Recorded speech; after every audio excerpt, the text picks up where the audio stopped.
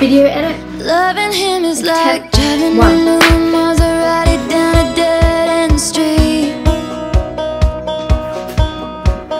Faster than the wind, passionate as sin, ending sad